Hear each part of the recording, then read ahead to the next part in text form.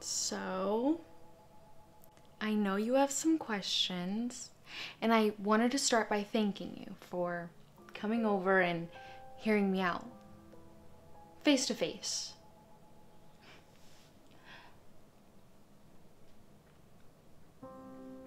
I hope I'm not too formal for tonight, but I had the urge to dress up. And if I can be honest, I haven't been able to get fancy for some times. Okay, I get it. You're probably like, it's just the second date meeting for us. Chill, bitch. You'd be right. But I meant it when I said you made me feel really free to be myself. I didn't feel stressed or the need to keep up the mask we tend to put on when we meet someone we're interested in. For the first time, I knew I could put my guard down. Because you listened.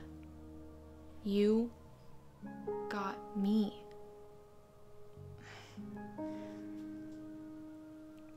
Mm.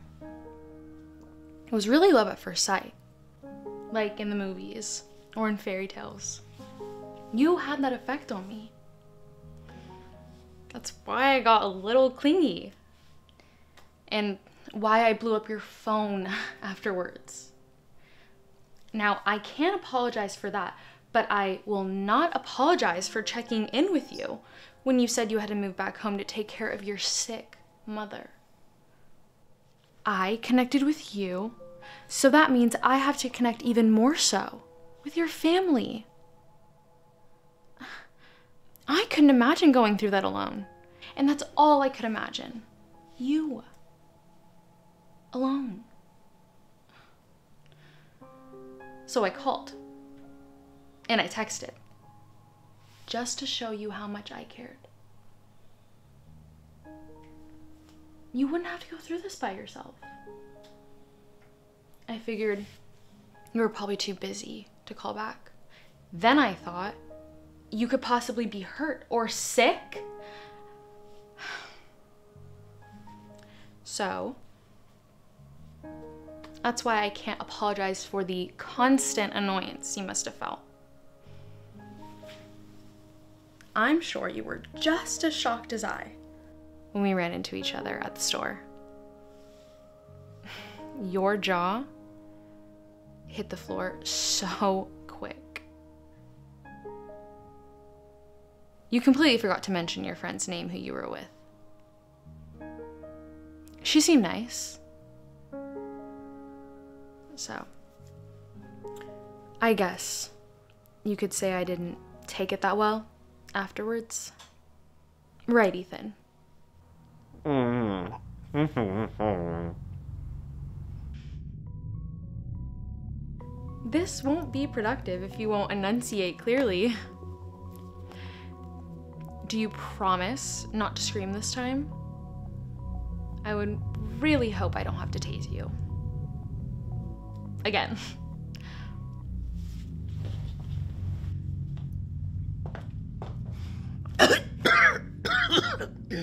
Crazy bitch.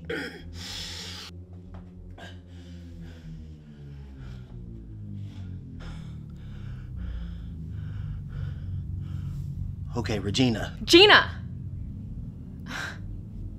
Just Gina. Right. Right. Gina.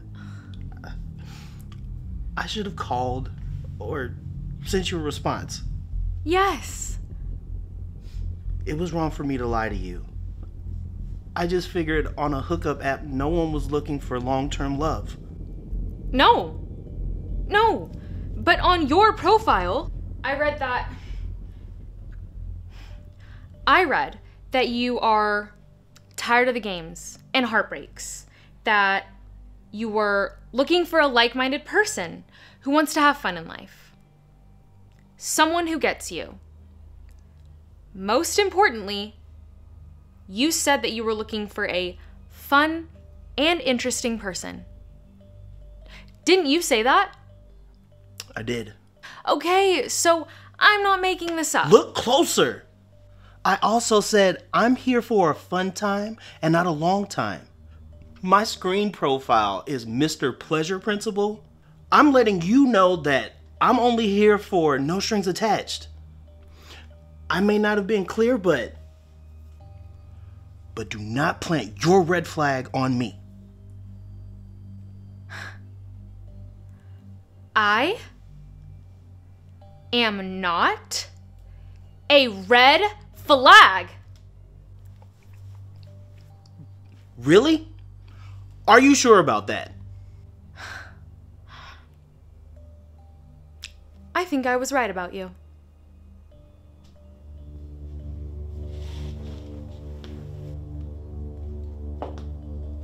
What are you talking about?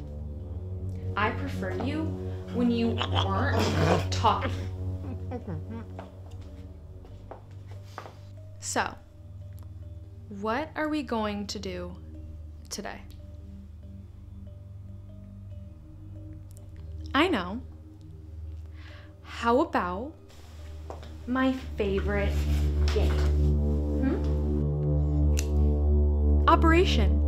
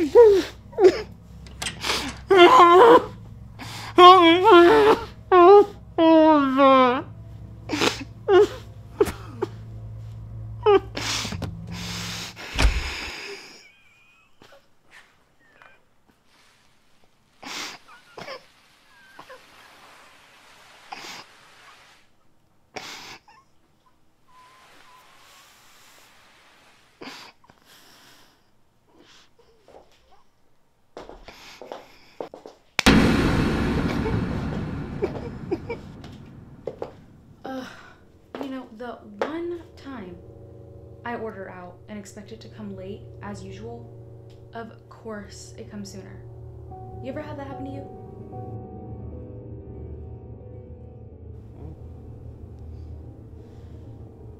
Mm. Okay. Where were we? I remember. Game night! No. Okay. What would you like to do? Mm-hmm. Yeah, you want to go home mm. since you've learned your lesson. Mm-hmm. Okay. I will let you go. Mm. Yeah. I just need your help with something. I just need your help. Planting my